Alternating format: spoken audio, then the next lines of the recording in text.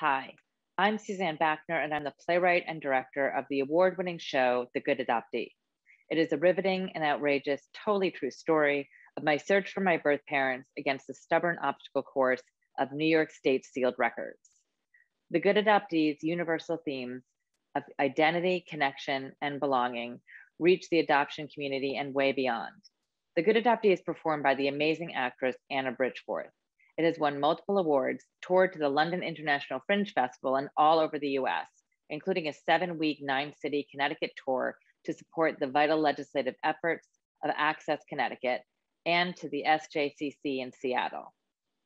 The Good Adoptee has been enjoying a global audience in its virtual presentations, including the 2021 launch of the National Association of Adoptees and Parents and the Our Kids fundraiser with the Shubert Theater in New Haven. With the Good Adoptee, we have partnered with many nonprofit organizations to raise funds and awareness, advocate for adoptee rights, and to successfully bring about legislative change. We do dynamic talkbacks, expert panel discussions, conferences, community engagement, masterclasses, and workshops. I hope you enjoy these highlights from the show. I don't know how I got the nickname the bunny. It could be because of the outfits I wear. I say this as if I dress myself, which I don't. They are one piece flannel footed pajamas in yellow, pink, and white, ears flopping over, vinyl padding on the feet. We call them bunny suits. I drink strawberry Nestle Quik, and we call it pink bunny milk.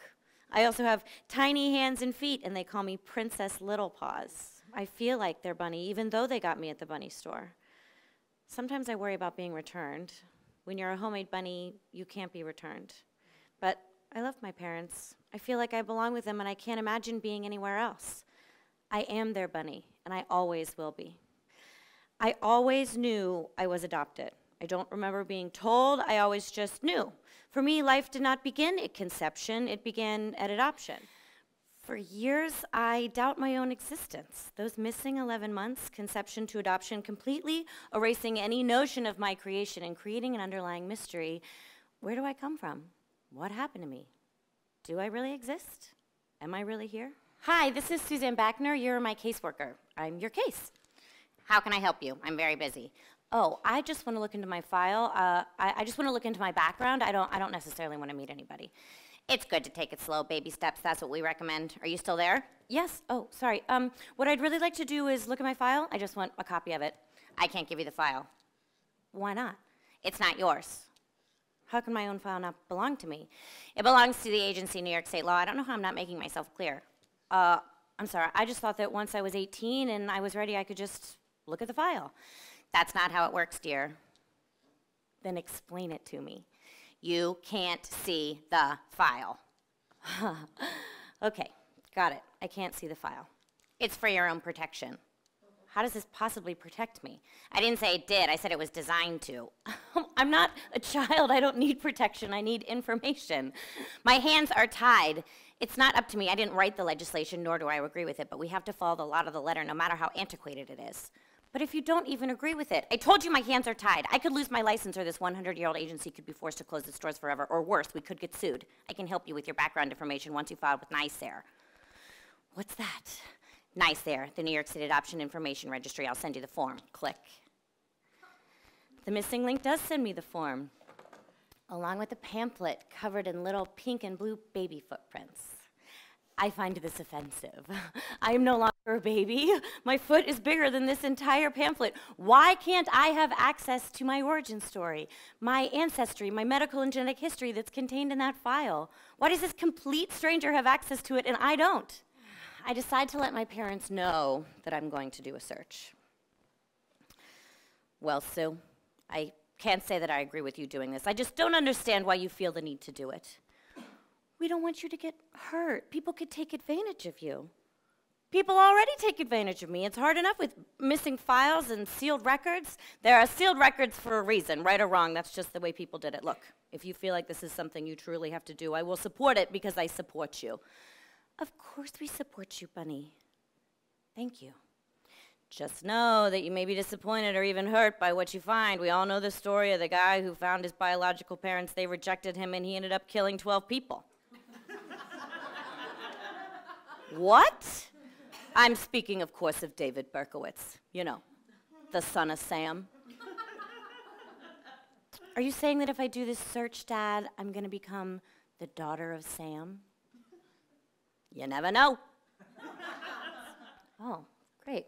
Well, I want you to find birth, my, both my birth parents, not just my birth mom. I work on a no find, no fee basis, so you won't get charged unless I find your birth parents. If I can't find anything within five months, which is the duration of the contract, I usually can't help you out, but you won't even get charged expenses. But you won't have found my birth parents either. I want to assure you that as an adoptee myself, I would never take advantage of my fellow adoptee. Of course not. All right, I'm going to dive right in. Give me a couple months. Click. Month six. The thing is, when I'm working on a case, I gotta go all in. Just fully immerse myself in it and eat, sleep, and shit the case like it's the only thing in the world. That's how I solve my cases. It would be fascinating to see how you work. I can't divulge trade secrets. Of course not. You're a savant. What's that? You know, like a genius? I can only do so much. I'm a human being. What do you expect from me, Suzanne? You want me to work miracles? I can only work with what you give me. I'm sorry, so it's my fault that my but the records are sealed and by some twist of fate that my last name is Smith, like I willed this to make your life more difficult? Sorry. Hey, you know what? I just had this epiphany, this really great idea for you. Uh-huh. Why don't you come on my show on the Oprah Winfrey Network and do a video appeal? You know, straight to the camera like you're talking directly to your birth parents, real dramatic like. Oh my god, I'm to be sick. It could be the difference between not finding and finding your birth family. God, wouldn't that just make me look desperate and pathetic? I mean, not that I'm not, but well, do you want to find them or don't you? What's your viewership? That's not the point. Think about it. Click. The book, and here's the good news part. When your case gets published in my book, then millions of people will read it and hopefully come forward, and you'll have a better chance of finding your birth family. This is how you decide to tell me that my case is completely hopeless. You don't have the decency to give me an update on my case. You just launch into your book deal like I give a shit, and then tell me that you can't solve my case by letting me know the good news is you want to include my unsolvable case in your fucking book? You're being really unprofessional. I'm being unprofessional? If you keep yelling at me, I'm going to hang up the phone. I am not yelling. You're using a bad tone. I'm not using a bad tone. Click. After I get off the phone, Bob informs me that I was indeed using a bad tone. I thought my case was on hold. Suzanne, I found your birth family. How do you know it's them? I spoke to your Uncle Sandy. Uncle Sandy? When I called the house, your Uncle Sandy's wife picked up. She was a bit freaked out. This is your aunt that I'm talking about, the same woman that was your Uncle Sandy's fiance when your birth mother and your birth father were living in New York City during the last four months of the pregnancy. Your, she put your Uncle Sandy on the phone right away, and I said, I'm calling on behalf of a long lost relative of your brother's. And you know what Uncle Sandy said? Mm. He said, She be what, 30 or 35 now? Boom. Well, I don't get it. I made no mention of your age or your gender, and he said she'd be what, 30 or 35 now? Boom. oh my God, so it's really them? I am sorry to report that your birth father passed away three years ago. Oh.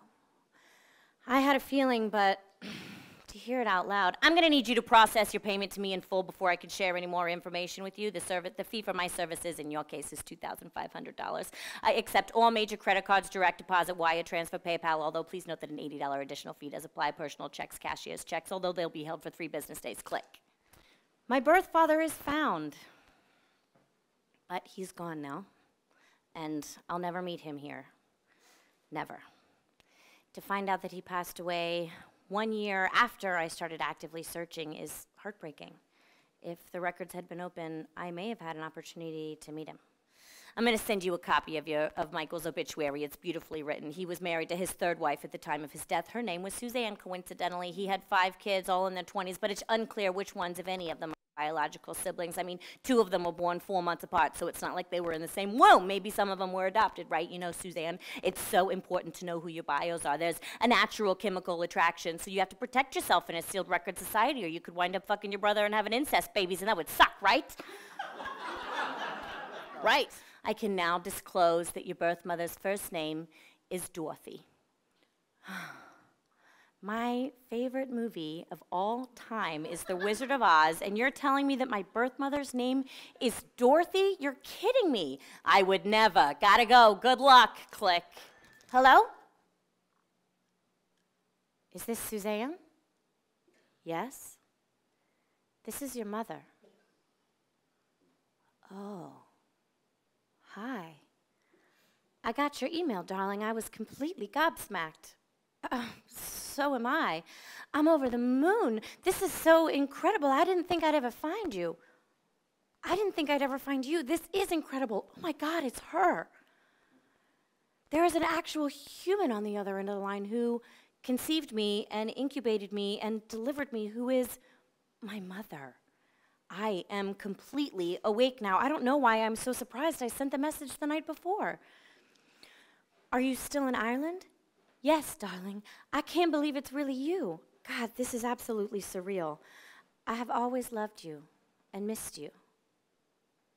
You are an incredibly difficult person to find. My childhood nickname was Rusty. Everybody called me that growing up because of my red hair, and it just stuck. I legally changed my name to Rusty and then kept my second husband's name after we divorced. God, my birth parents were really bad at this whole marriage thing. what should I call you? Why don't you call me Mama too? That way I'm not stepping on your mom's toes. Okay, I like that. Mama too. Wonderful. I'm so sorry to do this, but I have to go. Can we talk again later? Of course we can. Anything you need, honey bunny. I get Rusty's contact information. We agree to talk later, and I get off the phone. Click. This whole hello, I'm your mother conversation is completely overwhelming. The connection is so strong, so overpowering. I can only take it in small doses.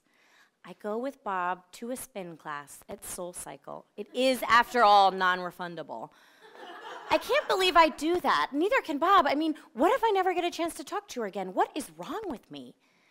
Several years ago, a stranger telling me I'm your mother would have stopped me dead in my tracks and my defenses would have gone up in a flash. How dare you call yourself my mother? I only have one mother and she's a few blocks away in the apartment where she raised me, and you, lady, are an impostor. But I prepared for this. I made the psychic space for the idea, or rather, the reality that I have two sets of parents. She didn't identify herself as my mom, but as my mother.